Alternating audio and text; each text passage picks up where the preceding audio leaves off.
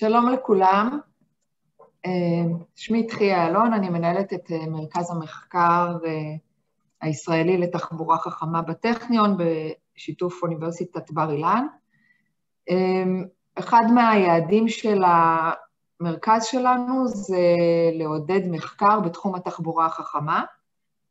אז במטרה לעודד מחקר בתחום, אנו מארחים את המנהלת הישראלית למו"פ האירופאי, להציג את תוכנית הורייזן של הנציבות האירופית בתחום התחבורה החכמה, ולצורך זה אני שמחה להזמין את אופיר ולט-שלובל, מנהלת תוכנית תחבורה חכמה ונקייה ב-eSERD, ודוקטור חגית שווימר, שווימר, מנהלת מחלקת אנרגיה, סביבה, תחבורה, חקלאות, מזון ואקלים ב-eSERD. הן שתיהן יעבירו את הסשן הזה, אנחנו מקליטים את הוובינר הזה והוא יהיה available באתר שלנו לכולם. אז אופיר, בבקשה. שלום לכולם, תודה שהצטרפתם אלינו. תודה לתחייה על ההזמנה.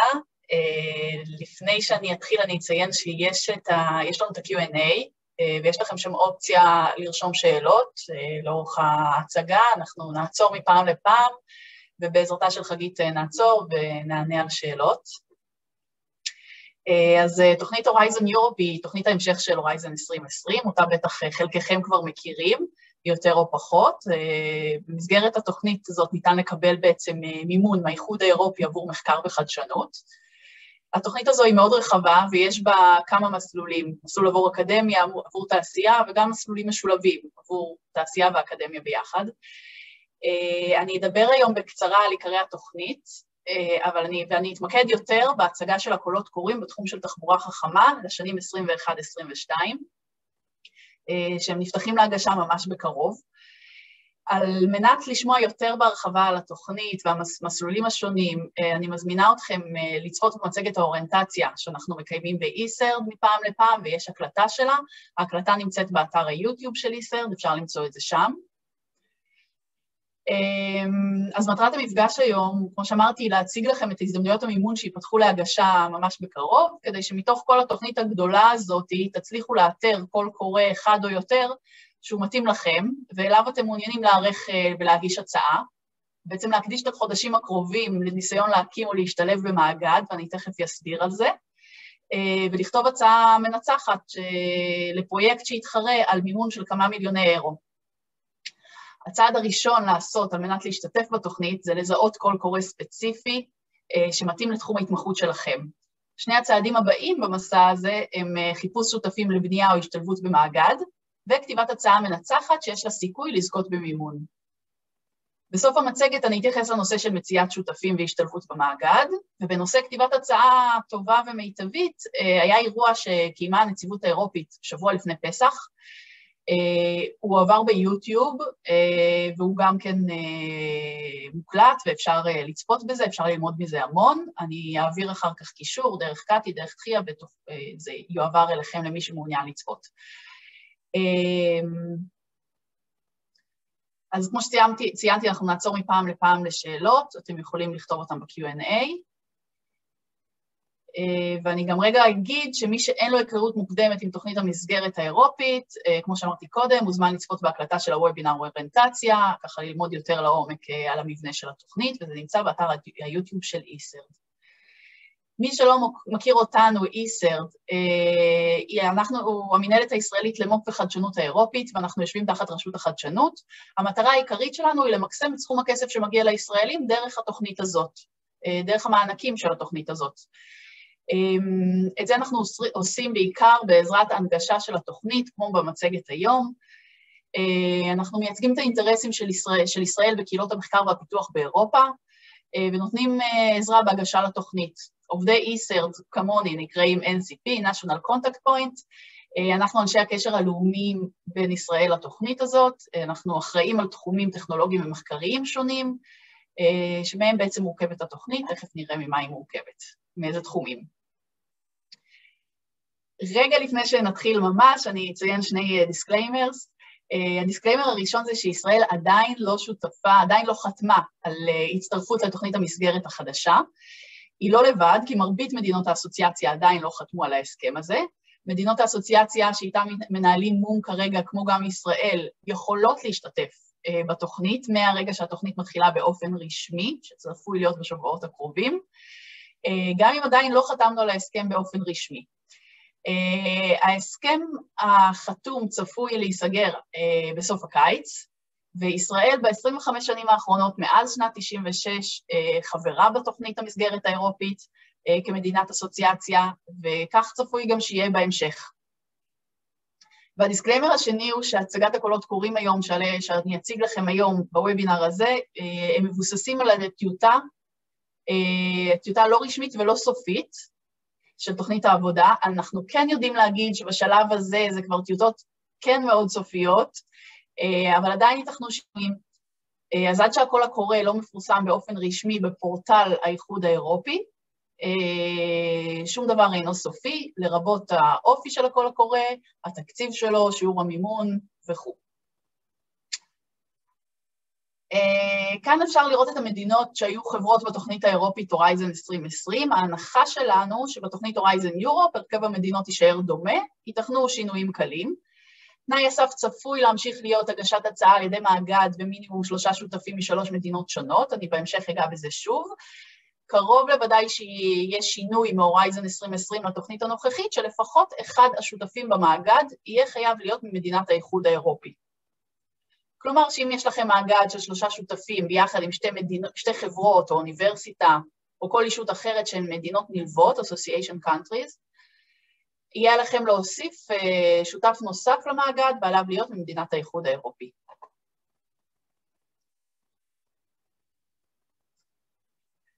אז תוכנית הורייזן יורופ נפרסת uh, על גבי שבע שנים, כשבכל שנה מתפרסמים קולות קוראים בתחומים שונים, כשכולם בעצם מבקשים לתת מענה לאתגרים חברתיים, כלכליים, סביבתיים, שאירופה ואזרחיה ניצבים בפניהם. השקף הזה הוא המבנה של התוכנית. כמו שאמרתי, ישנם מסלולים המתאימים לחוקרים מהאקדמיה, מסלולים המיועדים רק לתעשייה, והמסלול העיקרי הוא עבור השילוב אה, בין השניים, בו מגישים הצעות לקולות קוראים במאגדים של אקדמיה ותעשייה. המסלול העיקרי והרחב ביותר של התוכנית הוא ה pillar השני, שעוסק באתגרים עולמיים ותעשי, אה, ותעשייה אירופית תחרותית. תחום תחבורה נמצא תחתיו, ובו אנחנו בעצם נעסוק היום. בתוך ה pillar השני, תחת cluster מספר 5, נמצא תחום התחבורה ביחד עם אנרגיה וסביבה, וקולות קוראים בתחומים האלה מתפרסמים תחת ה cluster הזה. התקציב למימון הקולות הקוראים בתחומים האלה הוא 15.2 מיליון אה, אירו לשבע שנים.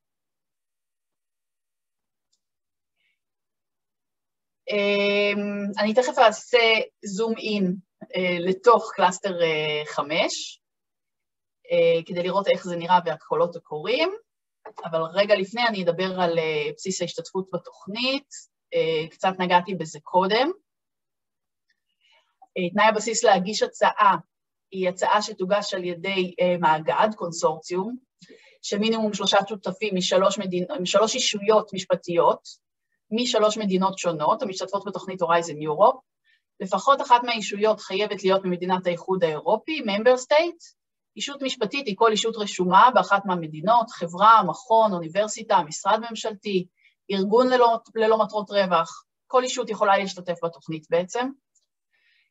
אה, יכולים להיות הגבלות נוספות לפי הקול הקורא המדובר, אבל אה, זה תנאי ההגשה אה, הבסיסי והאחיד בכל התוכנית.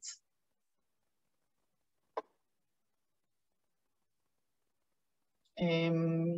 אוקיי. בכל מאגד כזה בעצם ייבחר אחד שהוא יהיה הקורדינטור, אה, והוא יהיה אחראי על, ה, על הקשר השוטף מול הנציבות.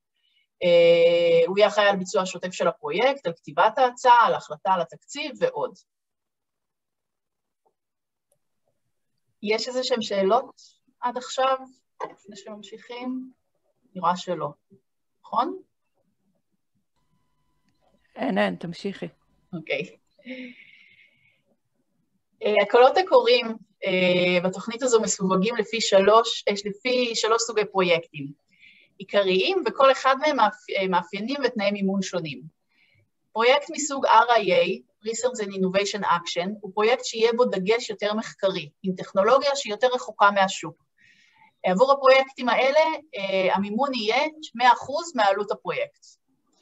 פרויקטים מסוג IA הוא פרויקט שיהיה בו דגש יותר יישומי, והטכנולוגיה שתפותח במסגרתו יותר קרובה לשוק, ומימון אה, עבור הפרויקטים האלה זה מימון של 70 אחוז מעלות הפרויקט, מדובר במענקים, אם לא אמרתי קודם, ו-CSA הם פרויקטים בהם הפעילות תהיה פעילות של תמיכה במו"פ ולא מו"פ. אה, למשל, יצירת קהילות בתחומים מסוימים, כתיבת סטנדרטים, סקירה של מצב קיים בשוק ועוד כל מיני. וגם עבור פרויקטים כאלה, אה, השותפים יקבלו 100% מימון עבור הפעילות שלהם בפרויקט. על אחוזי, אחוזי המימון האלה תמיד יש תוספת של 25% מעלות הפרויקט, מימון עבור תקורה, וזה נגזר אוטומטית מעלות, מעלות הפרויקט שהגשתם והתקציב שאושר לכם. ארגונים שהם לא מטרות רווח, כמו אקדמיה, עמותות, מגזר ציבורי, תמיד יקבלו 100% מימון עבור החלק שלהם בפרויקט, ולא משנה איזה סוג אה, פרויקט בוצע. אה, בשקף הבא אני אסביר על עמודת ה-TRL שמופיע פה באמצע. אה, אני רוצה להגיד שאורך ההצעה שאתם מגישים והמבנה שלה משתנה בהתאם לסוג הפרויקט. מסתמן שפרויקטי RIA ו-IA יגישו הצעות על טמפלט קבוע של 45 עמודים, ופרויקטים מסוג CSA על טמפלט קבוע של 30 עמודים. אבל כאמור, אנחנו לא נוגעים היום בכתיבת הצעה. אה, אני אציג קולות קוראים בכל אחד מהסוגים השונים של הפרויקטים האלה, וכאן אפשר אה, לראות את, אה, את סקלת ה-TRL. בעצם הקרבה לשוק, הקרבה של הטכנולוגיה לשוק, לרוב נמדדת בכלי שנקרא TRL, מוכנות טכנולוגית. מכונות טכנולוגית נמוכה יותר תעיד על ריחוק מהשוק, אה, מחשבה על טכנולוגיה, כתיבת קונספט, הוכחת התכנות, וקרבה לשוק תימדד עם TRL גבוה יותר, מערכות, פיילוטים, הדגמות ועוד. אה, בתיאור הקול קורא, האיחוד יציין על פי סולם ה-TRL איזה סוג פרויקט הוא מצפה לראות. לרוב, פרויקטי אה, RIA יהיו ברמות TRL נמוכות יותר, בין 4 ל-6, ופרויקטי IAA ברמות גבוהות יותר, 6-8.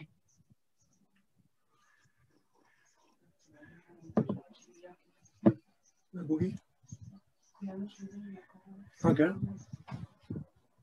לגבי תהליך הבדיקה של ההצעות, אה, בכל הפרויקטים, במגוון הנושאים השונים, ולא משנה אם מדובר בפרויקט, בפרויקט קרוב לשוק, IA, או בפרויקט רחוק יותר מהשוק, RIA, הם כולם נבדקים על ידי אותם שלושה קריטריונים. אחד, מצוינות טכנולוגית, זהו המענה לקול הקורא בעצם. אה, מה אתם מתכננים לעשות, מה הרעיון, מה התוכנית, איך, אתם, אה, איך זה מתאים לבעיה שהוגדרה או לאתגר שהוצג. הקריטריון השני הוא השפעה, ספציפית על אירופה כהתחלה, אבל גם על השוק, על הקהילה, על הסביבה. והקריטריון השלישי הוא יישום. אה, מי המאגד שלכם? למה הישויות האלה שנבחרו להיות במאגד, הם, אה, הם נבחרו ואיך אתם מתכוונים לעבוד ביחד? מה התפקיד של כל אחד מכם? איך תעבדו ביחד כדי להגיע לתוצאה הרצויה? כל קריטריון בדיקה יכול לקבל ציון של עד חמש, והציון המקסימלי של פרויקט הוא 15. אומנם אה, תמיד שלושת הקריטריונים האלה הם אלה שייבדקו, אבל לפי הקולות הקוראים אה, ייתכנו מצבים בהם קריטריון אחד יקבל יותר עדיפות, יותר משקל אה, מאשר קריטריון אחר. לדוגמה, בפרויקטים יותר מחקריים ורחוקים מהשוק, כמו RIA, יש יותר חשיבות למצוינות, אבל בפרויקטים קרובים יותר לשוק IA יש יותר משקל קריטריון ההשפעה.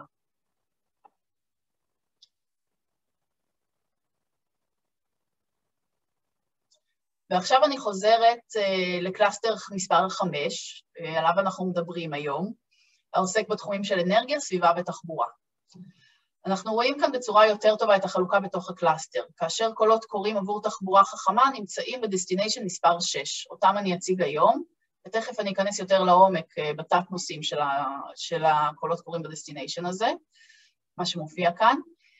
destination אה, 5, אני רוצה להגיד, הוא עבור תחבורה נקייה, וייתכן שגם תחתיו אה, חלקכם תוכלו למצוא קולות קוראים שרלוונטיים. אה, ארבעה נושאים תחת ה destination הזה, מספר חמש. אחד זה Zero Emission Road Transport, והם כוללים קולות קוראים על בטריות ורכיבים עבור רכבים חשמליים. תעופה ותחבורה ימית, גם כאן בהקשר של טיפול במזהמים. ו Transport, אמ, Related Health and Environmental Issues, תחתיו יש קול קורא המדבר על פתרונות למערכות המזהמות מרכבים ישנים. אז אם מישהו זה, התחומים האלה נוגעים לו, אני מזמינה אתכם אה, לבחון קולות קוראים תחת גם ה destination הזה, אולי מתאים לכם שם משהו. אני לא ארחיב על הקולות קוראים האלה היום, אבל אני אגיד שלפני פסח קיימתי וובינר ובו אני הצגתי בהרחבה את הקולות קוראים האלה, ואתם יכולים להיכנס לאתר של ISERD, אמ, לערוץ היוטיוב, אה, או לערוץ היוטיוב של ISERD, ולמצוא את הוובינר אה, אה, הרלוונטי הזה, אמ, או לשלוח לי מייל ואני אשלח לכם קישור למי שמסתבך.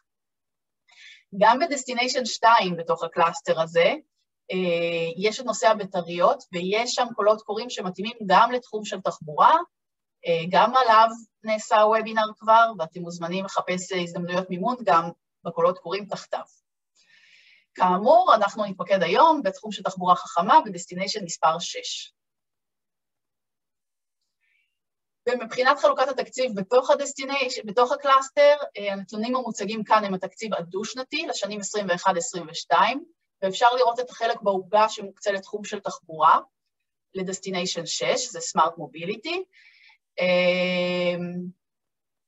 מוקצים 380 מיליון אירו למימון אה, פרויקטים, כאשר יש לנו 13 קולות קוראים בשנת 21 ועוד 15 קולות קוראים לשנת 22.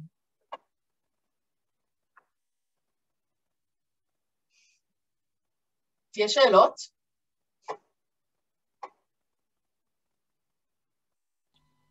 לא. נראה לי שלא. קולות הקוראים בתחום uh, תחבורה חכמה התחלקו בשנתיים הקרובות לשלושה קריטריונים, Connected, Cooperative and Automated, Mobility, פתרונות לתחבורה אוטומטית, אוטומטית ומחוברת, במטרה להאיץ את ההטמעה של טכנולוגיות ומערכות חדשניות עבור נוסעים וסחורות בתחום ניידות אוטומטית, שיתופית ומחוברת. הפוקוס הוא מעבר מגישה ממוקדת נהג לעיצוב ופיתוח פתרונות Mobility User Oriented Approach, אה,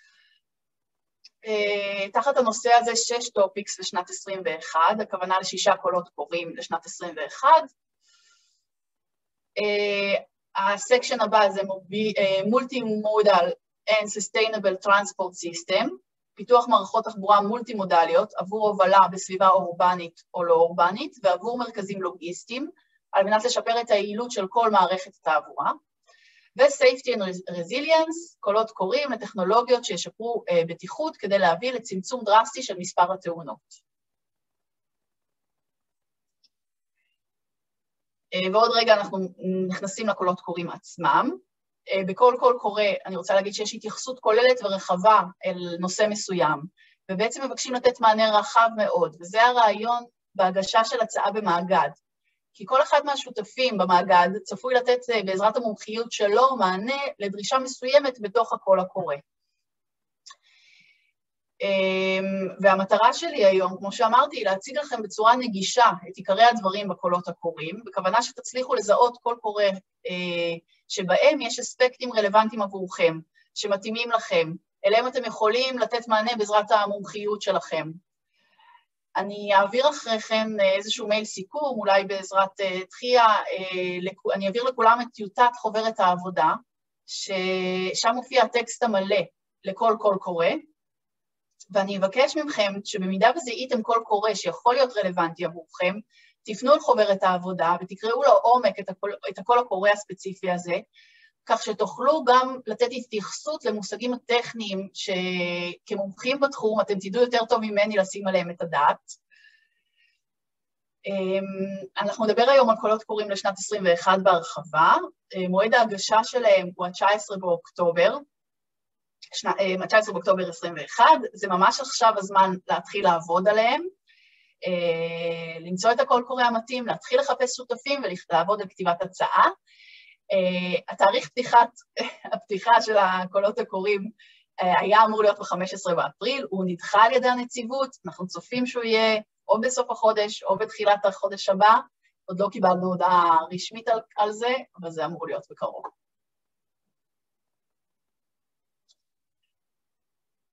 אוקיי. Uh, okay. אז הקול קורא הראשון הוא עבור טכנולוגיות לקבלת החלטות ברכב האוטומטי, בדגש על זיהוי תנאי סביבה מורכבים. התקציב הכולל לנושא הוא 15 מיליון אירו, כאשר שני פרויקטים יזכו בתקציב שבין 6 ל-8 מיליון אירו.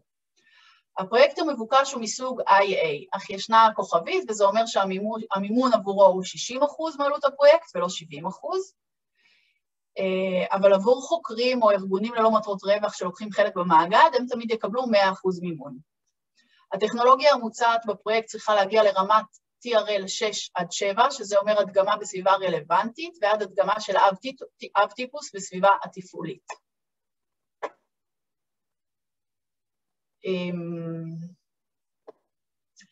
אז כדי להשיג אה, אינטראקציה אמינה ומאובטחת בין כלי הרכב, התשתיות והמשתמשים, מערכות מיקום ותפיסה של הסביבה, כאלה שעמידות בפני מזג אוויר, ומערכת לקבלת החלטות מתקדמת שצריכה לטפל במגוון אירועים, הן חיוניות להפקת מידע אמין שנדרש לצורך קבלת החלטות בזמן אמת. הסקופ של הקול הקורא הזה, אמ, על הפרויקט יהיה להתייחס לפיתוח והדגמה של ההיבטים הבאים. לפתח ולהדגים ברכב מערכות תפיסה אמינות ומדויקות, עם דגש על תפיסת מזג האוויר, המבוססת על חישה משופרת, לוקליזציה, עם מפות דיגיטליות אמינות ודינמיות בחדות גבוהה, מיקום אמין ומדויק, תוך שימוש בשירותי לוויין של האיחוד האירופי, ואני תכף ארחיב על זה רגע.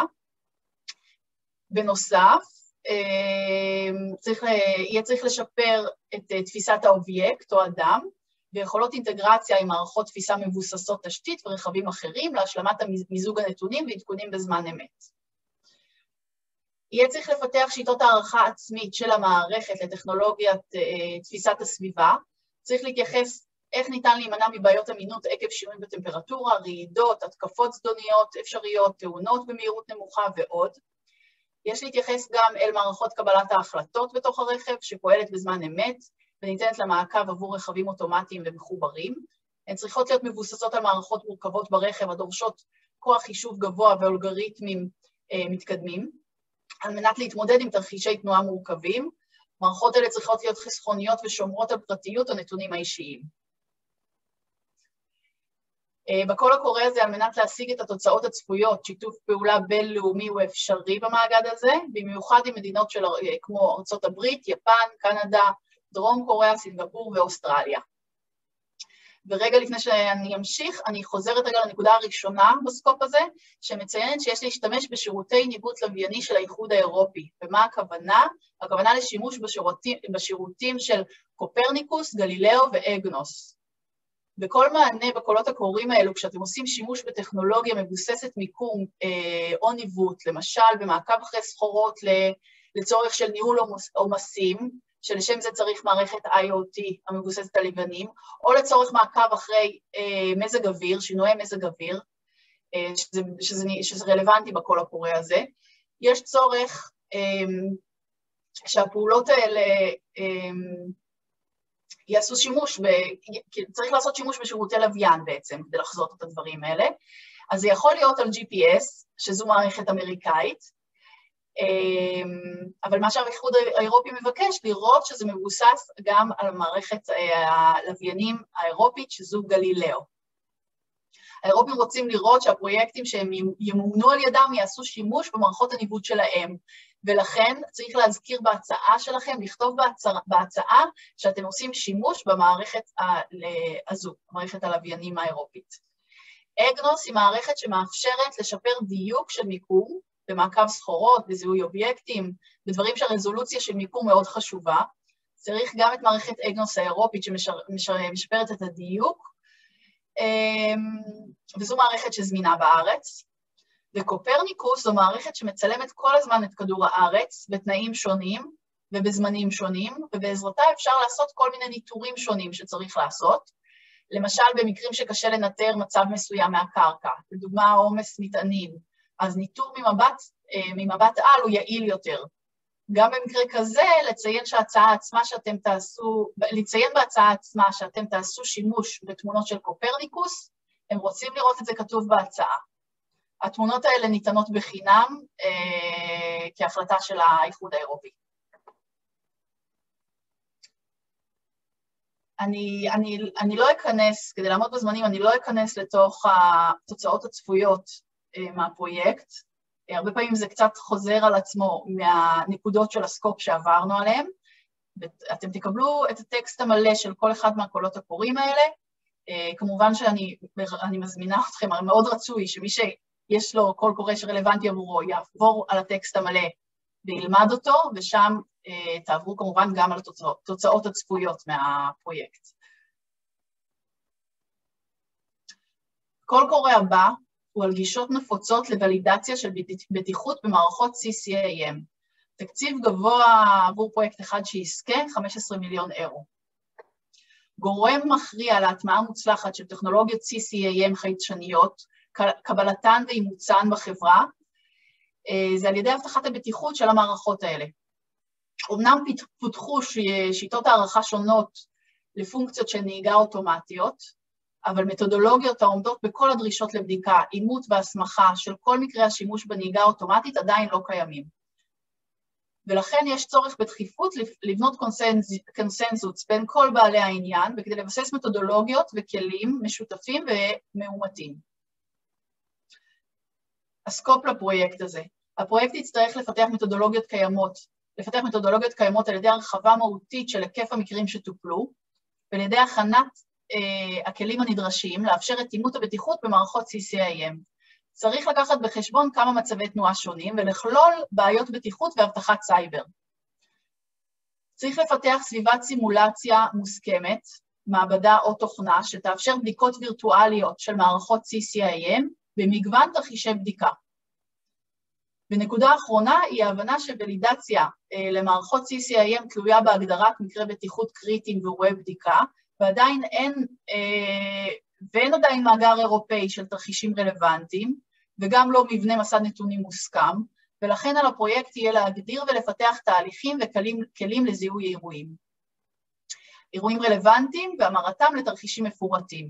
יש לקחת בחשבון מזג אוויר, תאורה ותנאי דרך מגוונים, קשת רחבה של התנהגות משתמשי הדרך וגם מקרי קצה.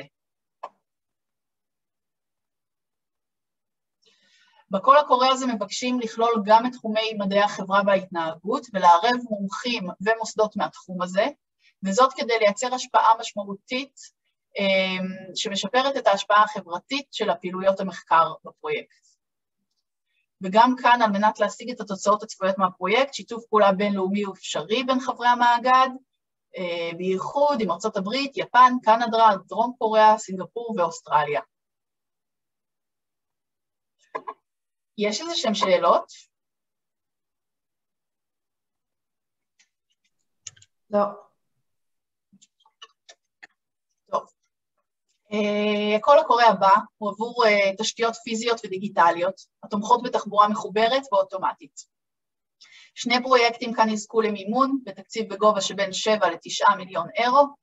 אחוזי המימון הם 60 אחוז, כמובן שעל זה יש התווספות של 25 אחוז עלות אה, תקורה, הוצאות תקורה, אה, וכמובן שארגונים ללא מטרות רווח אה, מקבלים 100 אחוז מימון. תשתיות פיזיות ודיגיטליות תומכות באינטגרציה של רכבים עם כלל מערכת התחבורה. הרשויות והמפעילים של תשתיות יכולים לספק מידע חיוני לרכבים ולמשתמשי הדרך, וזהו תנאי הכרחי כדי להתקדם לאקוסיסטם של תחבורה אוטומטית ומחוברת. בקול הקורא הזה מוצעים שני סוגים, שני נושאים, אה, שני נושאים מוצגים אה, בקול הקורא הזה, מביניהם עליכם לבחור נושא אחד להתייחסות בפרויקט.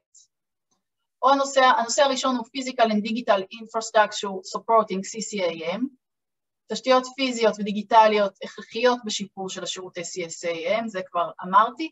האלמנטים הפיזיים של התשתיות כוללים סימונים, תמרורים, פריסה ועוד, בעוד שהרכיבים הדיגיטליים נכללים ברשת דיגיטלית רחבה, הכוללים כללים ותקנות רלוונטיים לתעבורה, קליטת נתונים מחיישנים בצידי הדרך, מפות HD המשתלבות, נתונים סטטיסטיים ודינמיים וכו'. פיתוח של תשתיות פיזיות ודיגיטליות תסייע במיוחד בתנאים אה, גיאוגרפיים או מזג אוויר מאתגרים יותר, ותוכל להקל על מצבי כשל או פערים בתנאי ההפעלה של הרכב. על הפרויקטים יהיה לפתח ארכיטקטורות שירות המשפרת את הפונקציונליות של כלי הרכב אוטומטיים על ידי תמיכה ביכולות Sense Planned Act, ותספק תמיכה בתשתיות דיגיטליות ופיזיות, ותוכל להגדיל עוד יותר את הבטיחות והיעילות של התנועה. יש לנתח את הסיכונים, התועלת וההשקעות הנדרשות בתמיכה בתשתיות פיזיות ודיגיטליות, ולספק אה, הנחיות לקראת התאמות של התשתיות ל-Connected Mobility, וכמובן להתייחס גם לצרכים עבור הרגולציה העתידית. הנושא השני אליו הפרויקט יכול להתייחס הוא Connectivity and Cooperation as enablers for CCIM and Advanced Traffic Management. מעורבות ושירותי CCIM עבור מערכת ניהול תנועה מתקדמת עושות שימוש בקישוריות ושיתוף פעולה, למשל בהחלפת מידע על מעמד וכוונות, תכנון אה, תמרונים בכבישים, משא ומתן על משבצות כמו זמן ומרחב לביצוע תמרונים. הנקודה הראשונה בסקופ מדברת על שירותי CITS, Cooperative Intelligence Support System and Service. CITS CITS הן אה, מערכות תחבורה חכמות, שיתופיות, כאשר שיתוף פעולה בין שתי מערכות משנה או יותר מאפשר ומספק שירותי אינטליג'נס טרנספורט טוב יותר ועם רמת שירות משופרת, בהשוואה לאותו שירות הניתן רק על ידי מערכת, אה, רק על ידי אחת מתתי המערכות. הדור הראשון של שירותי CITS אה, שהיה מוגבל לסטטוס אינפורמיישן, הוא דוגמה מובילה לטכנולוגיה שהבשילה ועושה את דרכה לפריסה רחבה ברכבים ותשתיות. הדור הבא של שירותי CITES, אה, שירכב על גבי טכנולוגיות צומחות, אמור לשפר ניידות אוטומטית, מחוברת ומקושרת. ועל הפרויקט בעצם יהיה לבצע תכנון ואפיון ראשוני של הדור הבא של שירותי CITS. זה מאתגר, נשמע לי. בנוסף, אה, על הפרויקט לבדוק את ההיבטים הבאים במצבי תנועה אמיתיים. אספקת נתונים דרך ערוצי תקשורת ממקורות חיצוניים, למשל מצב הדרך, תנאי מזג אוויר, המגדילה את הפונקציונליות של שירותי CCAM בניהול התנועה, כמו גם בטיחות בדרכים, יעילות התנועה והגנה על הסביבה. הבטחת יכולות, יכולת אה, פעילות הדדית בין הטכנולוגיות השונות והמשכיות רצף הפעילות של שירותים קיימים תוך תמיכה לאחור, תמיכה במספר טכנולוגיות בצורה משולבת, תוך הקפדה על פרטיות ובטיחות לכל, וביטחון לכל אחד בכל ערוצי התקשורת. גם כאן שיתוף פעולה בינלאומי הוא אפשרי, וגם עבור הקול הקורא הזה יש לציין שתעשו שימוש בשירותי ניווט הלוויין של האיחוד האירופי, כמו שהסברתי אה, קודם, שימוש בשירותי קופרניקוס, גלילאו ו EGNOS.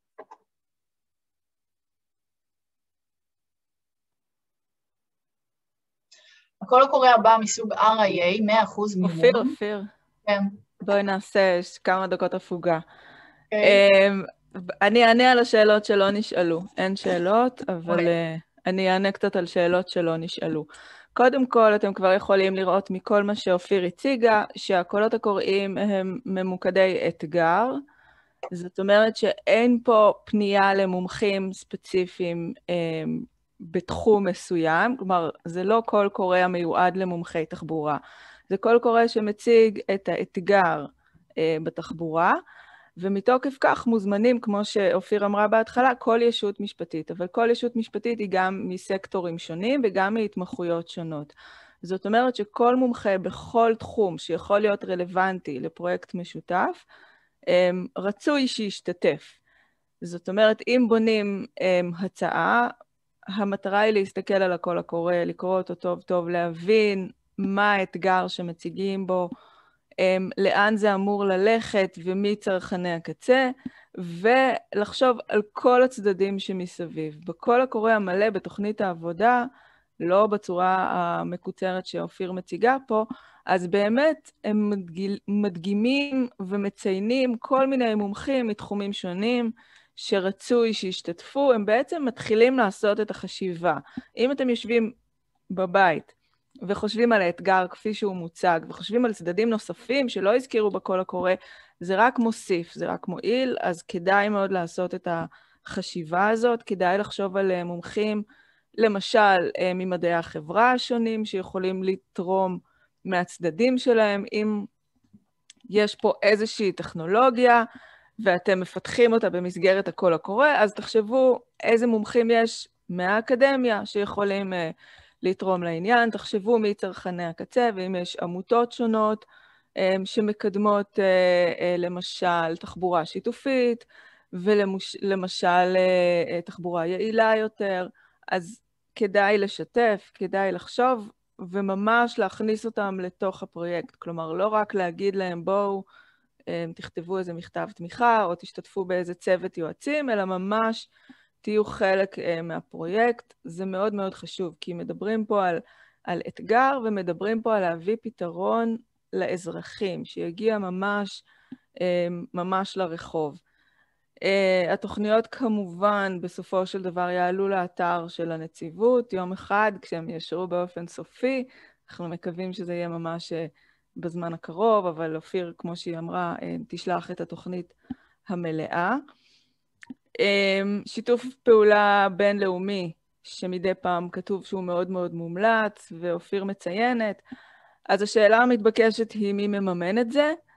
Uh, אז קודם כל, כשכתוב איזה מדינה צריכה להיות שותפה, בדרך כלל גם יש הסכם עם אותה מדינה, או, או עם איזשהו גוף באותה מדינה שיודע ושיממן את השותפים.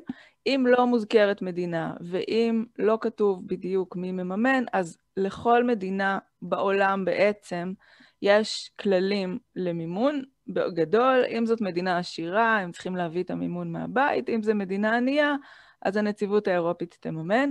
אבל צריך לחפש את הכללים המדויקים לכל מדינה שיש לכם מומחה. פעילות בינלאומית תמיד תמיד מתקבלת בברכה ותמיד מעודדים אותה, אבל, זה, זה כמובן ההצהרה, אבל בפועל, בתנאי ששומרים על ההובלה האירופאית, בתנאי שהפיתוח מגיע לאירופה, בתנאי שכותבים שהמומחה שהבאתם מארצות הברית אי אפשר למצוא כזה באירופה, ויש פה תרומה ייחודית שהוא מביא לפרויקט ולאירופה, כי אנחנו בסופו של דבר uh, תוכנית אירופאית. מה שעוד uh, כדאי לציין, המימון כמובן ניתן לכל הפרויקט, החלוקה בין השותפים היא על פי הפעילות, זאת אומרת שאם יש מישהו מפתח טכנולוגיה וזה עולה הרבה מאוד כסף, אז הוא כמובן מקבל חלק משמעותי מתוך הסכום שניתן לפרויקט, ומישהו נותן רק שעות עבודה או ייעוץ או משהו כזה, מקבל פחות, מקבל כמה שהוא מתמחר את זה, וגם לא תמיד חייב לקבל תקציב. אז כדאי לשים לב לזה. מה שעוד כדאי לשים לב לזה, כמו שאופיר הציגה בהתחלה, איפה היעד הזה נמצא בתוך התוכנית, הוא נמצא בתוך קלאסטר של קולות קוראים שהם מיועדים לאקלים, אנרגיה ותחבורה. וזו בעצם אמירה, זאת אומרת, יש פה הסתכלות על שלושת הנושאים האלה יחד. גם תחבורה, נכון, יש פה את המיקוד בכל קול קורא, בכל נושא בעצם, אבל גם בתחבורה. התמקדות בכל קול קורא, אבל צריך לשים לב שהתוצאה שה, בסוף, או ההשפעה של הפעילות של אותו פרויקט, רלוונטית לאקלים ולאנרגיה, וכדאי מאוד אמ, לנסות להכניס צדדים כאלה, או להתייחס לזה. בתוך ההצעה, להגיד שהפתרון שאתם מציעים ישפיע לטובה על התמודדות עם אקלים, על אה, התייעלות אנרגטית, כל הדברים האלה צריך לשים לב, ואני חושבת שמספיק בינתיים, ואת יכולה להמשיך, אופיר. אוקיי, אוקיי. תודה. אמ, אז הקול קורא עכשיו, שאני אדבר עליו, אמרנו, מסוג RIA, 100% מימון, הוא בתחום של cyber security עבור המערכות אה, של CCAM. שני פרויקטים כאן יזכו למימון בתקציב של חמישה עד שישה מיליון אירו לפרויקט. אמ, אז ברור שההפעלה בטוחה של רכבים ומערכות ניידות היא מפתח לפריסה נוספת של מערכות המאפשרות CCAM, כמו גם יצירת אמון וקבלה בקרב משתמשי קצה. cyber security צריך להיות חלק בלתי נפרד מתהליך הפיתוח, עם מטרות ויעדים משותפים, ארכיטקטורות ועיצובים. פעולות המחקר ופיתוח בפרויקט הזה יצטרכו אה, להיות לפתח ולאמץ שיטות וכלים המחזקים את האבטחה עבור הפתרונות של אה, תחבורה מחוברת, אה, ניידות מחוברת.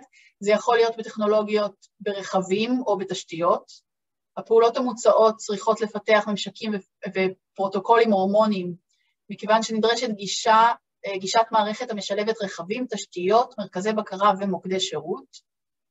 צריך להעריך את העמידות של מערכות ה-CCAM מול התקפות סייבר, תקלות או כשל במערכות.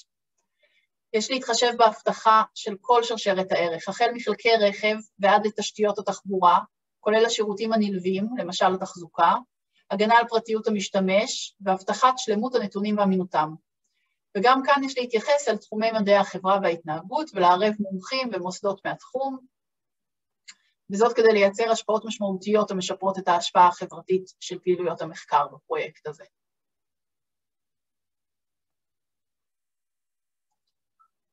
הנושא הבא,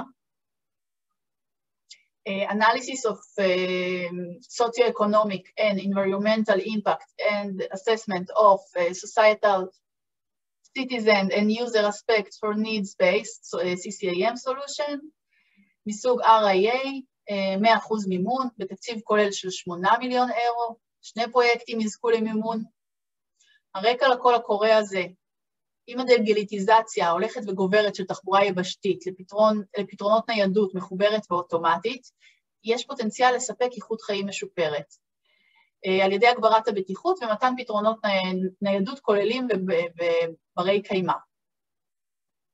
אבל כדי שהפתרונות האלה יצליחו, יש צורך בהבנה מקיפה של כל ההשפעות של, ה, של פתרונות CCAM על האנשים, על חברה וסביבה לאורך הזמן. בנוסף, ההצלחה של ההטמעה של המערכות CCAM תלויות בזמינותם ובנגישותם למשתמשים העתידיים, ובנכונות הציבור הרחב להשתמש ולקבל את הפתרונות האלה. הנושא הזה דורש מעורבות של מומחים במדעי ההתנהגות והחברה, והכללת כלים מהדיסציפלינות האלה, כדי לוודא שהפעולות שישובצו בפרויקט אה, משקפות את המציאות של, חב... אה, של חברה עם ניידות משתנה, עם צרכים דיגיטליים וסביבתיים. כמו כן, מעודדים תהליכים בהשתתפות מגוון רחב ומגוון של קבוצות משתמשים עתידיות, עמותות, אזרחים, מומחים ומקבלי החלטות. בקול הקורא הזה יש לבחור לעסוק בפעילות אה, באחד משני הנושאים הבאים. או בנושא הראשון, נושא A, ניתוח ההשפעות החברתיות-כלכליות והסביבתיות הנובעות ממערכות ושירותי CCIM, באופן כללי לשפר שיטות כלי הערכה קיימים או לפתח שיטות חדשות רחבות ומקיפות שיבחנו את ההשפעה של פתרונות CCIM על היבטים סוציו-אקונומיים וסביבתיים כדי להבטיח תכנון נכון יותר של הפתרונות האלו. בפועל צריך להעריך את הסיכונים בהיבטים חברתיים וסביבתיים, לפתח שיטות להערכת ההשפעות, להתייחס להשפעות על מקומות עבודה, בריאות וסביבה, ולעדכן איפה שצריך ולפתח KPIs חדשים ורלוונטיים עבור השיטות החדשות.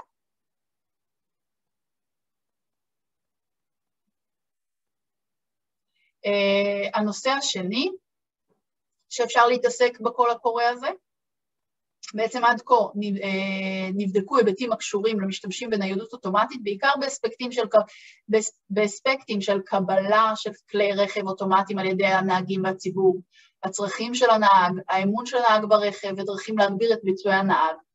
וכעת מבקשים שהפעילויות שיבוצעו במסגרת הפרויקט יתייחסו להיבטים של אה, Inclusive, Equity and Accessibility, שיעמיקו יותר מאשר רק בהבדלים של מגדר, מגבלויות וגיל. לדוגמה, משתמשים עם גובה הכנסות שונה, או בעלי ניסיון שונה בשימוש בדיגיטל. בעצם המטרה היא לשקול באופן יזום את כל קבוצות המשתמשים בתהליכי, בשלבי התכנון והפיתוח של פתרונות CCIM, ובין היתר על ידי פיתוח ויישום גישת מערכות להבנה טובה יותר ולהתחשבות בצרכים, רצונות וציפיות של המשתמשים והחברה, הקשורים לפתרונות, מערכות ושירותים של CIM, וצריך לב כאן שה-users זה לא רק אנשים, אלא יכולים להיות גם בתי חולים, בתי ספר או מוסדות ציבוריים. ניתוח של אה, היבטים הקשורים לפריסה של פתרונות של CCAM במונחים של למשל רמת הכנסה ופתרונות לאזורים מקווחים, חסרי שירות או חסרי גישה דיגיטלית, ולמפות את מגוון הרחב של חששות ציפיות נוגעים ל-CCAM והמעורבים מגוון בעלי עניין.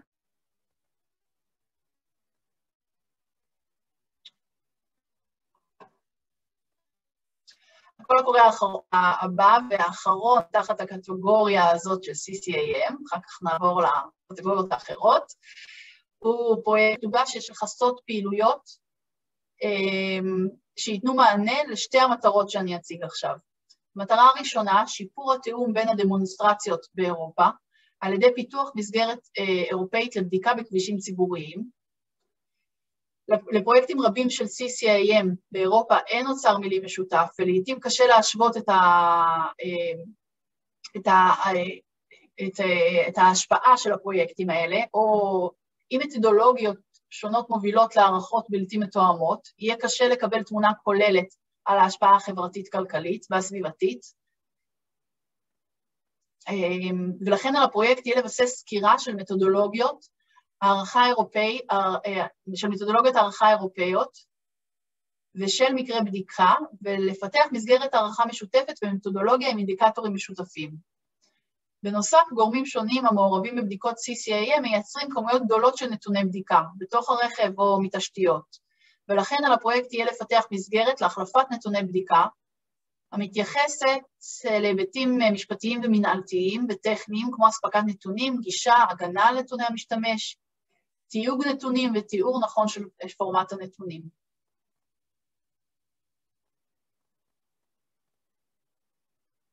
המטרה השנייה היא הרחבת תחזוקה ועדכון הידע הקיים ברחבי האיחוד האירופי, אשר אמור לרכז מידע על אודות בעלי עניין, תוכניות מו"פ ופרויקטים הקשורים ל-CCIM באירופה ומחוצה לה, ועבור המטרה הזו מפרטים את הפעילות הנדרשת אה, תחת אה, הרי יביא בטקסט, אתם יכולים לראות את זה.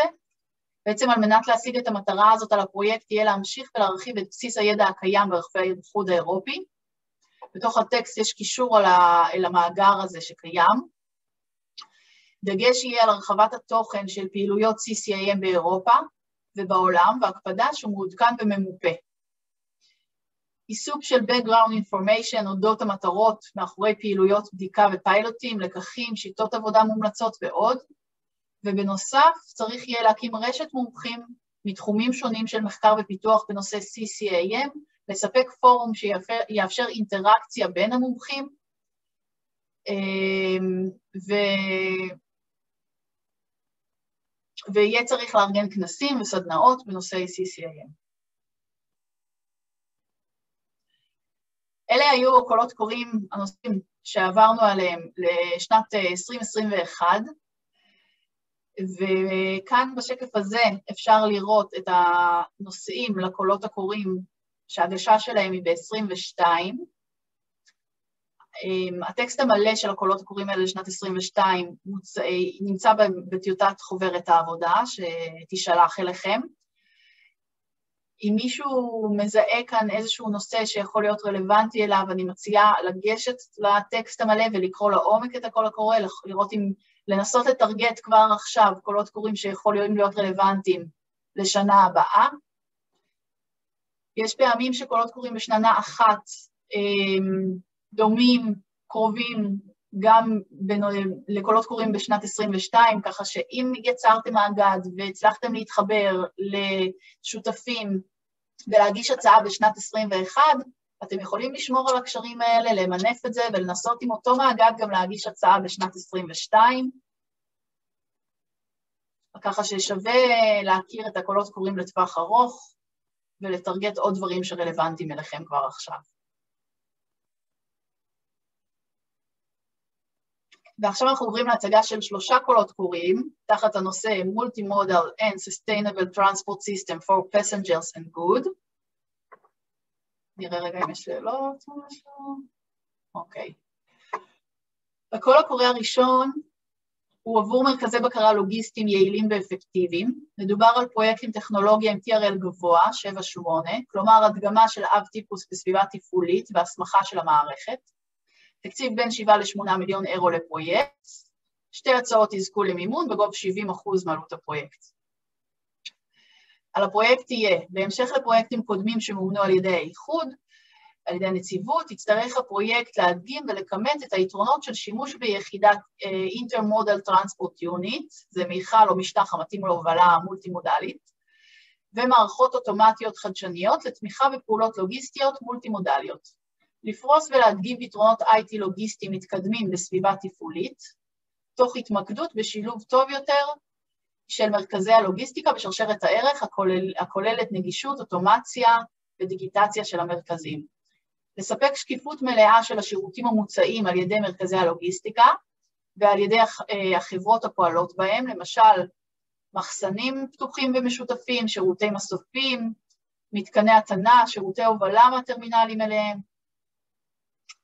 באמצעות מעקב אה, בזמן אמת אחר הובלה וסחורות, לספק הערכת זמנים של הגעה ועזיבת מוצרים, שימוש בחיישנים חדשים ושיפור דיוק המיקום המבוססים על GNSS האירופאי, ולספק מערכת תומכת בהחלטות אוטומטיות כדי לייעל את הביצועים הכוללים של שרשרת האספקה ואת חוסנה כנגד אירועים משבשים, כולל מגפות.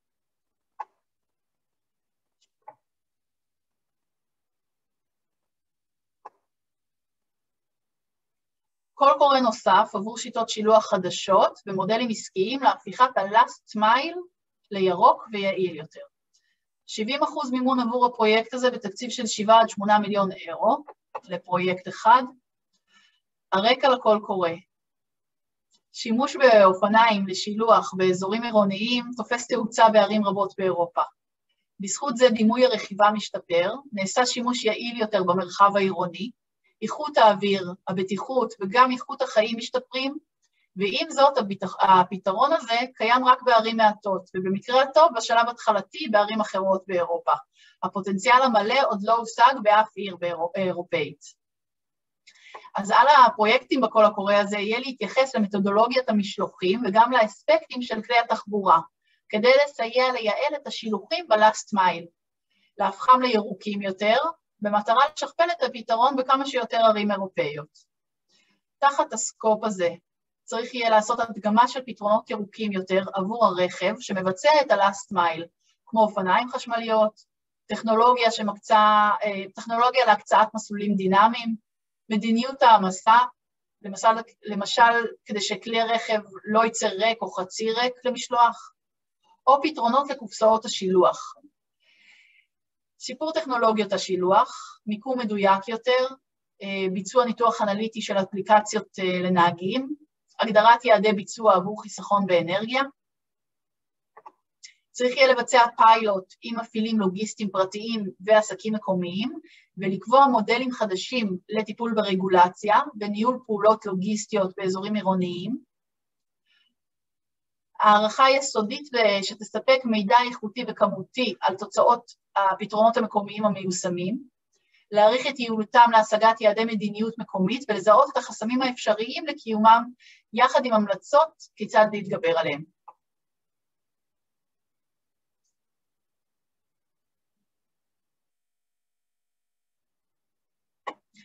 קול קורא נוסף, מסוג IA, Innovation Action, עבורו יש 70% מימון מעלות הפרויקט, שלוש הצעות יזכו כאן למימון. הקול הקורא הזה הוא עבור טיפול בתשתיות עם פוקוס על נתיבי מים פנים-יבשתיים, כלומר תעלות. אין לנו את זה בארץ, אבל עדיין רלוונטי.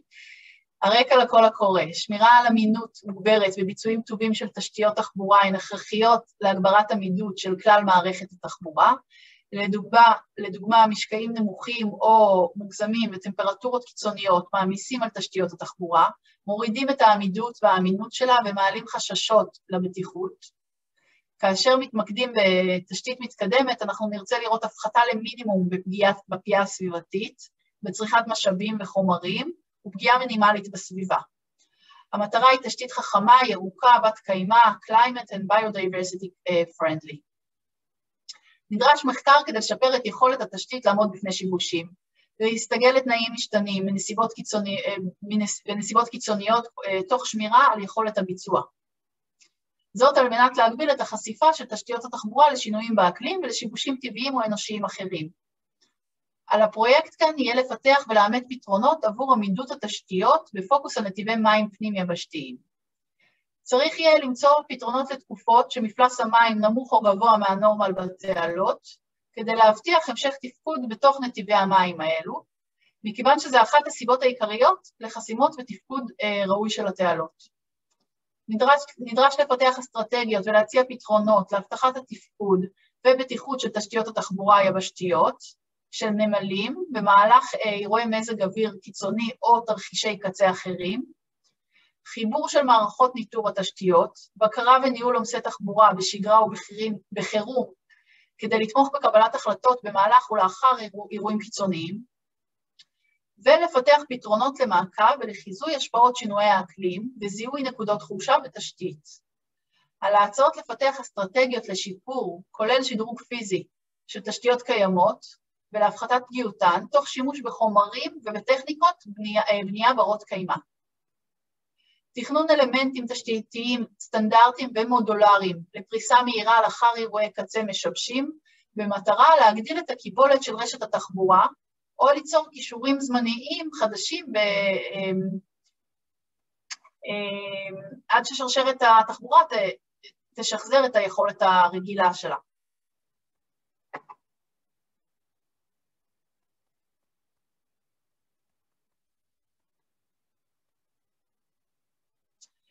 וכאן שוב פעם מוצגת הרשימה אמ, של קולות הקוראים בתחום הזה, בנושא הזה לשנת 22, שאנחנו לא ניכנס אליהם כרגע לעומק, אבל הטקסט המלא נמצא בחוברת.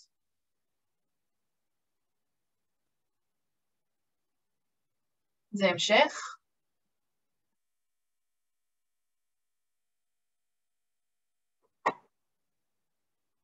אוקיי. ואנחנו עוברים לסקשן השלישי והאחרון, תחתיו מופיעים ארבע קולות קוראים, בתחום safety and resilience, אה, זו כותרת קצת כללית, נכון?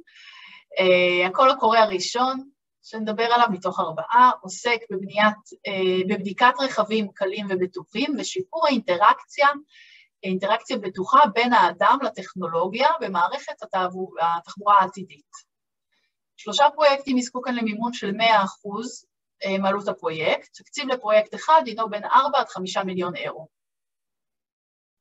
בקול הקורא הזה יש לבחור להתמקד באחד משני הנושאים הבאים, או area A, שזה testing safe lightweight vehicles, או area B, safe human technology interaction in the future traffic system. הנושא הראשון מתייחס לתחום בדיקה, תחום בדיקות הבטיחות לרכבים. בטיחות, בטיחות הרכב התקדמה משמעותית בעשורים האחרונים, וזאת בין היתר הודות ליכולות בדיקה מתקדמות ותפיסות מבניות חדשות של הרכב. אבל עדיין כלי הרכב העתידיים צריכים להיות קלים יותר, והמשמעות היא הפחתה משמעותית בבטיחות במקרה של התנגשות עם כלי רכב כבד יותר. בנוסף לכך, במבנה הרכב יהיה לשלב תכנון של שימוש מעגלי אה, בחומרים, שימוש בחומרים קלים וקונספטים רלוונטיים נוספים בתחום הייצור, למשל אה, יציקה ו-3D printing של צמתים מורכבות. הפרויקט שיבחר להתעסק בנושא הזה יצטרך לבצע בדיקות מתקדמות של התרסקות, קשיחות, שבר ועייפות של חומרים בכלי הרכב. הפרויקט יהיה צריך לנתח את תרחישי תאונות העתידיים, לבחון את אמצעי הבטיחות הפעילים, אך גם כישלונם הפוטנציאלי והעובדה שבמשך זמן רב יהיה מצב uh, תנועה מעורב בין כלי רכב אוטומטיים וחצי אוטומטיים שיחלקו את הכביש, עם אה, רכבים רגילים המונעים באופן יד, ידני, וגם עם כל שאר משתמשי הדרך הפגיעים. האתגר השני שאפשר לבחור להתעסק בו במסגרת הקול הקורא הזה, הוא הגברת הבטיחות בעקבות האינטראקציה האנושית עם תוכן דיגיטלי. בעצם עומס יתר של סוגים אה, שונים של מידע ממספר מקורות יכול להוביל להגברת הסחת הדעת של נהגים או משתמשי הדרך ולהשפיע לרעה על הבטיחות בדרכים. לא מספיק יודעים על ההשפעה ועל הסיכון של הממשקים האלה על הנהגים ועל משתמשי הדרך, ולכן נדרש כאן מחקר נוסף של ה-Human Machine Interface, של הטכנולוגיות האלה, על בטיחות uh, התחבורה הכבישית. היישומים של הטכנולוגיות האלה לא מוגבלות לשימוש רק ברכבים עם אוטומציה גבוהה, ולכן צריך לבחון וריאציה גבוהה של יכולות ותגובות אנושיות.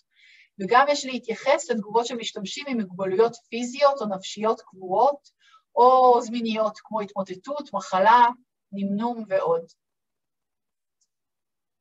על הפרויקט יהיה להתייחס אל ההיבטים הבאים, תכנון ופיתוח ממשקים אמינים ולא מסיחי דעת לאינטראקציה אנושית טכנולוגית ברחבי, אה, ברכבים, להבין ולהציע שיטות לשיפור ההשפעות ארוכות הטווח, פיזיות ונפשיות, הסיכונים והיתרונות עבור המשתמשים בטכנולוגיות Human Machine Interfaces, וגם עבור הנושאים החשופים אליה, ופיתוח שיטות, שיטות לאימות הבטיחות עבור הטכנולוגיות חדשות.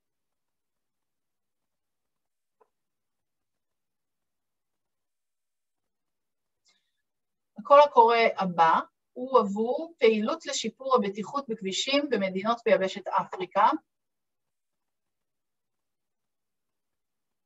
אוקיי.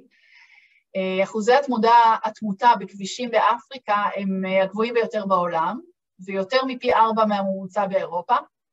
פעילויות אה, אירופאיות לשיפור הבטיחות בתחום, בתחום הזה באפריקה כבר בוצעו בעבר, ובקול הקורא הזה נדרש מחקר ופיתוח כדי לייצר בסיס אנליטי חזק וכדי לפתח ולהעריך יחד עם שותפים מקומיים הטמעה של פיילוטים בקנה מידה קטן ברמה העירונית, האזורית, הלאומית והיבשתית. הפעולות האלה צריכות להכיל שיתוף ידע ושיטות עבודה מומלצות, ניתוח נתונים ותשתית להפחתה יעילה של אה, מקרי מוות בדר... באפריקה, בדרכים באפריקה.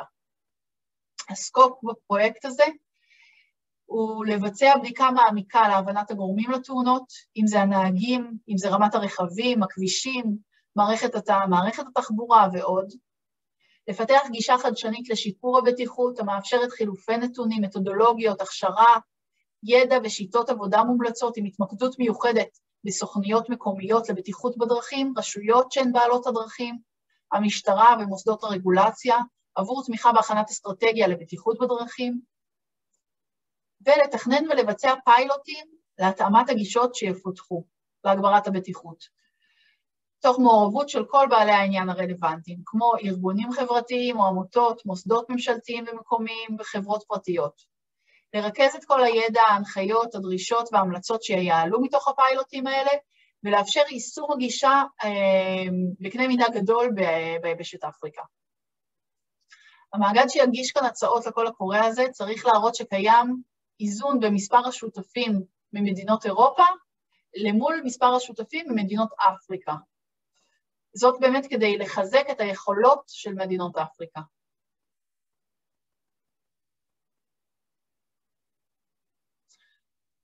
הקול קורא הבא הוא עבור Controlling uh, Infection on Large Passenger Ships. אני יכולה להניח שהוא נכתב בעקבות uh, המקרה של הקרוז uh, שהיה ביפן, שם היה התפרצות והדבקה מהירה של הנוסעים בנגיף הקורונה, uh, וכמובן שיש בטקסט התייחסות לקורונה, אבל לא רק, uh, רק אליה, מתכוונים פה גם למחלות אחרות מדבקות. אירופה כיצרנית הגדולה והכמעט בלעדית בעולם של ספינות נוסעים וקרוזים גדולים ובינוניים וכיעד עגינה של ספינות רבות, חייבת להבטיח סביבה בריאה על הספינות. אמ, זה חיוני גם לכדאיות ולצמיחה אה, של העסק. עד כה כבר פורסמו הנחיות כיצד להתמודד עם התפשטות של זיהומים בספינות נוסעים, אבל חסר ידע מבוסס עובדות שיצביע על האפקטיביות שלהם. יש לעסוק באחד משתי הנושאים הבאים בקול הקורא הזה. הראשון זה Infection Control on Board Large Passenger Ships, Prevention, Mitigation and Management. הפעילות הנדרשת תחת נושא הזה זה לבסס בסיס מדעי מקיף בנוגע לאפקטיביות של אמצעי מניעה, הפחתה וניהול במקרה של זיהומים מתפשטים בספינות, פיתוח והדגמת פתרונות לשיפור של מניעה, הפחתה וניהול המחלות, ויש לדאוג שהתוצאות והנתונים שנאספים יהיו זמינים לציבור על מנת להקל את השימוש בשיטות העבודה המומלצות. הנתונים צריכים לכלול פירוט של סוג הספינה, גודלה, אופי ההפלגה והיעדים. והנושא השני שאפשר לעסוק בו תחת הקול הקורא הזה נקרא Healthy Ship Design. יש ליישם גישה מבוססת עובדות, אמ, שמתחילה מן השטח, ולהתייחס לתכנון הפונקציונלי והתיאורטי של ספינות נוסעים גדולות, בכדי להפחית את ההתפשטות הזיהום על הספינה. בעצם מחקר צריך להתייחס במיוחד למערכות האוורור וזרמי האוויר שלהם, משטחי חיידקים וניהול חיטוי, מקרה, אה, אה, בקרת זיהום בכל אזורי הספינה הרלוונטיים, הפרדת תהליכים, תכנון אזורים חברתיים, כולל אלה עבור הצוות, תכנון אזורי העבודה של הצוות, במיוחד מזווה, מכבסות ועוד. בנוסף, יש להציג מערכות חדשניות כדי שיזהו בשלב מוקדם התפשטות של זיהומים על הספינה, כמו למשל שימוש ב-AI, שימוש בביג דאטה ובחיישנים חכמים. המחקר ותוצאותיו שתעשו בנוגע לייצוא ספינה בריאה, בגרשיים, צריך להיות uh, זמין כך שיקל על השימוש בשיטות העבודה הטובות ביותר על ידי uh, מעצבי פנים של ספינות, מספנות ויצרני ציוד. גם כאן צריכים לכלול את תחומי מדעי החברה וההתנהגות, לערב מומחים ומוסדות מהתחום הזה,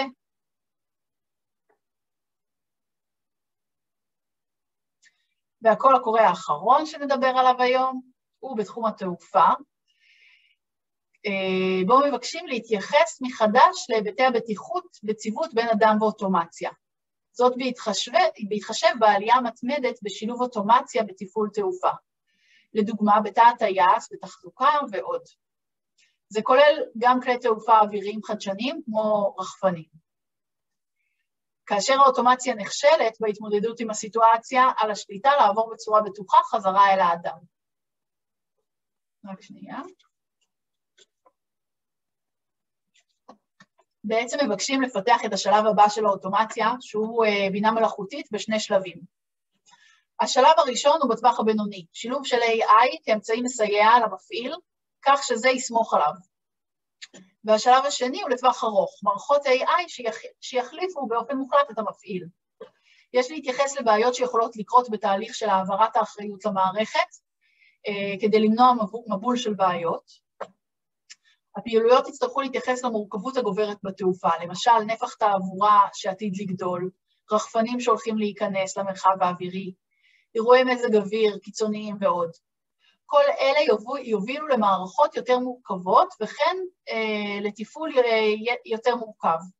צריך להתייחס גם להיבטים הפיזיים והנפשיים בבני האדם, על הפיתוחים להיות מיושמים בהקשרים מציאותיים מבחינת תפעול ורגולציה. ופה רשימה של שלושה קולות קוראים אה, לשנת 2022, בתחום שדיברנו עליו עכשיו. יש איזה שהן שאלות עד עכשיו? חגית, את רוצה להוסיף משהו? לפני שאני עוברת קצת להתייחסות, אמ, על איך למצוא שותפים? Um, אני יכולה לדבר קצת על חשיבות להצטרפות גם ל-CSA. Um, אמ, לפעמים זה לא נשמע פחות אטרקטיבי, אה, כי אין פה ממש כסף, כסף לפיתוח טכנולוגי ואין פה הרבה כסף. Um, אבל CSA, מעבר לעובדה שיש חשיבות בפרויקט, יש אה, פה הזדמנות מצוינת למצוא אה, רשת שותפים ולהיכנס ממש לאירופה ולהיכנס לאיזושהי קבוצה, והרבה פעמים אה, פרויקט שמתחיל כ-CSA עובר בהמשך להיות פרויקט של Research and Innovation Action ושל Innovation Action, ויש הזדמנות מצוינת גם להיכנס לרשת וגם להעלות מודעות לאיזשהו תחום שנראה לכם שאתם יכולים להביא בו אה, ערך חשוב, ובעצם אה, ליצור לעצמכם את ה, גם את הכניסה אה, לאירופה. אה, אופיר הזכירה שיש קולות קוראים ל-22, וכדאי לראות איזה נושאים יש שם ולחשוב לטווח הארוך. גם אם אין משהו מאוד מאוד אה, רלוונטי, צריך לזכור שאנחנו בהתחלה של תוכנית חדשה, תוכנית של שבע שנים. אמ, האג'נדה נשארת אותה אג'נדה, קולות קוראים נוספים יתפרסמו בהמשך. כל, אה, כל בנייה של אה, קבוצה אה, כרגע, שאתם מתעסקים בה כרגע, היא השקעה לטווח ארוך. אם תזכו ואם לא תזכו, תוכלו אחר כך לחשוב על איך להגיש שוב, תוכלו לקדם את הפרויקט, להרחיב אותו. אמ, הכל יהיה שם בסופו של דבר בשבע שנים הקרובות. אז כל הזדמנות שיש לכם עכשיו להצטרף לאיזושהי קבוצה, לבנות קבוצה, לבנות מאגד, להגיש, להתחיל איזושהי פעילות, גם אם כרגע זה נראה קצת על אש קטנה, אז כדאי מאוד uh, להשקיע פה את המחשבה ואת המאמץ. Um, וזהו.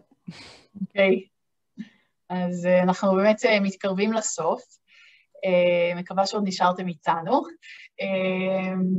אני אדבר רגע על איך מוצאים שותפים, כי זו שאלה שעולה הרבה. והדבר הראשון חשוב להגיד פה, זה שמאגד צריך לבנות, ואתם צריכים להיות מוכנים להשקיע מאמצים ומשאבים כדי להצליח לבנות המאגד הזה. כי לנו באיסרד אין, וגם אין בשום מקום, בשום מקום אחר באירופה, וגם לא למקבילים שלי בתפקיד באירופה, אה, ממדינות אחרות, אין אה, שום רשימה של עשרות מאגדים כמעט מלאים שעובדים בימים אלה על הצעה, והם מחכים רק לכם שתבואו, תצטרפו ותשלימו את התמונה. אז אין לנו רשימה כזאת, והלוואי והיה כדי לספק אותה. ולכן בניית מאגד צריך uh, לבנות וצריך להשקיע בזה, וכדאי להתחיל להתעסק בזה כבר עכשיו, והבניית נטוורקינג הזה זה השקעה לטווח רחוק בתוכנית הזאת, כמו שחגית ציינה את זה. אז מה כן אפשר לעשות? ראשית, הדרך היעילה והטובה ביותר, שאנחנו מזכירים אותה שוב ושוב, תנסו קודם כל להשתמש בנטוורק הפרטי שלכם. אתם uh, כחברות uh, וכחוקרים יש לכם, אמ, יש לכם את האנשים שאתם עובדים איתם, אם זה לקוחות, אם, אם זה שותפים עסקיים, תנסו לכתוב מייל או להרים טלפון למי שאתם כבר אה, מכירים בתחום, עמיתים, ספקים, שותפים עסקיים, תעניינו אותם אה, בתוכנית, בקול הקורא, ותציעו להם להצטרף ולבנות ביחד אה, פרויקט. בנוסף לזה, אמ, תשתתפו באירועים של חיפושי, שיתופי, של חיפושי אה, שיתופים, שותפים. אנחנו מקיימים אה, לאורך השנה, בשבועות הקרובים, בחודשים הקרובים, אנחנו נקיים מספר אירועי חיפוש שותפים אה, מקוונים עם מדינות נבחרות, שבמסגרתם תוכלו להכיר שותפים פוטנציאליים. חלק יהיו בפורמט שיאפשר לכל אחד לתת פיץ', להציג את הרעיון שלו לפרויקט ואת מי הוא מחפש שיעשה מה, ואחרים בפורמט של דיון בקבוצות לחשיבה משותפת על קונספט. כמובן שכדי להשתתף בפרויקטים, באירועים האלה, צריך קודם כל לזהות קול קורא שמתאים, להגיע כבר עם, עם, עם, עם גישה לאיזה, עם תפיסה שאתם מחפשים שותפים לקול קורא מסוים. בנוסף, הנציבות האירופית, לא רק אנחנו, גם הנציבות האירופית מארגנת אה, לאורך השנה אירועים של חיפוש שותפים, אה, אני ממליצה להירשם אליהם, להצטרף, אנחנו באיסר מפרסמים אותם. אה, באמצעי, באמצעים, אה, באמצעי המדיה שלנו, בפייסבוק, בלינקדאין, בניוזלטר, אנחנו מפרסמים את האירועי חיפוש שותפים של הנציבות האירופית. היום הם כולם מקוונים, מה שהיה לפני עידן הקורונה שהיו נוסעים לאירופה, ככה שגם ההשתתפות בהם היא עכשיו היא הרבה יותר פשוטה ומומלצת. אה, שיטה טובה נוספת לחפש שותפים זה באמצעות חיפוש פרויקטים שזכו כבר בעבר למימון בתחומים קרובים. כל פרויקט שזכה למימון מהנציבות האירופית בתוכנית מופיע במאגר. המאגר הזה נמצא, נקרא CORDIS, זה אתר אינטרנט, אה, ובסעיף מספר 3 פה במצגת יש גם אה, קישור למאגר הזה, המצגת תישלח אליכם.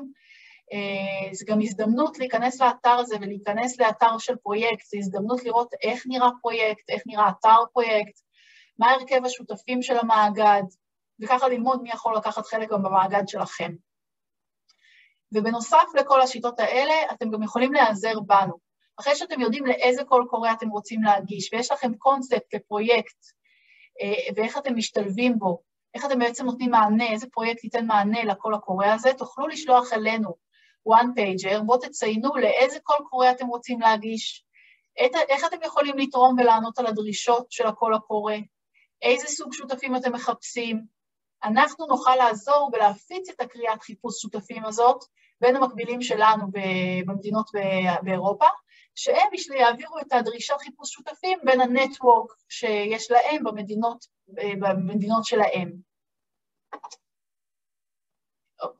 אמ, ובשקופית הזאת הכנו לכם כמה נקודות חשובות כיצד לכתוב one pager מוצלח, מה הסדר שהוא צריך להיבנות אה, ומה צריך לציין בתוכו. ה-one pager צריך להיות מכוון למטרה של חיפוש שותפים לכל קורא מסוים שזיהיתם בתוכנית של הורייזן יורופ.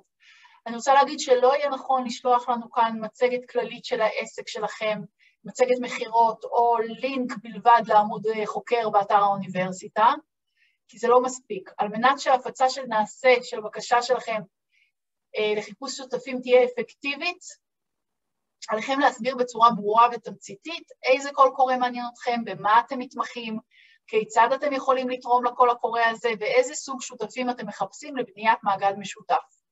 תעזרו בנקודות שבשקופית הזאת כדי לכתוב את ה-one pager, זה בסיס מאוד טוב. אני מזמינה את כולכם לשלוח את ה-one pager הזה אליי, למייל שלי, הוא מצוין גם כן כאן. אה, אנחנו מרכזים את זה, ואני עושה עם זה שימוש אחר כך, ולהעביר את זה למקבילים באירופה. וממש שקופית אחרונה, אה, לפני שניפרד, אה, אני רציתי להוסיף את זה, כי אני מניחה שזה יכול להיות רלוונטי לכם. תמיד אה, יש אפשרות בעצם להיות בודק מוסמך של האיחוד.